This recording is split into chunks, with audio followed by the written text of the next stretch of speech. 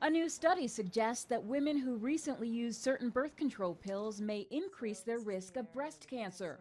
The findings in the journal Cancer Research show birth control pills with high doses of estrogen may increase the risk of breast cancer. Pills with low dose estrogen did not increase risk. Researchers say their findings need to be confirmed and stress that breast cancer is rare in young women and that oral contraceptives have many health benefits.